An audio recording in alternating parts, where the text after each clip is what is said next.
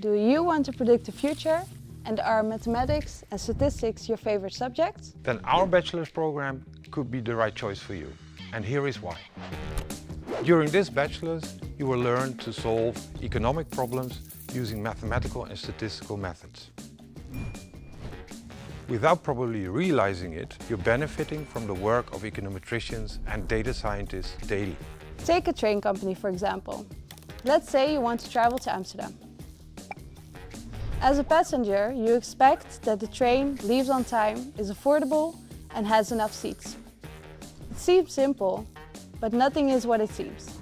An econometrician uses real data to estimate what effect decisions, for example made by the government, could have on the train company and its customers. So what happens if the government decides that the train fares should decrease by 10%?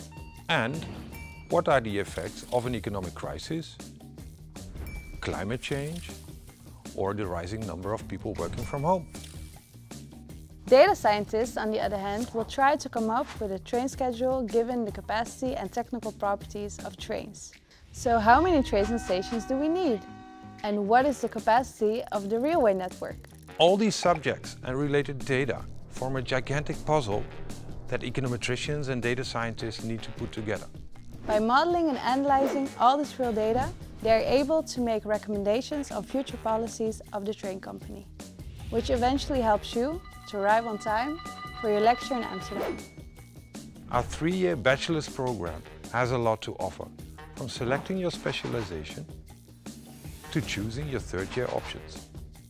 Econometricians and data scientists are in high demand, so job opportunities are endless.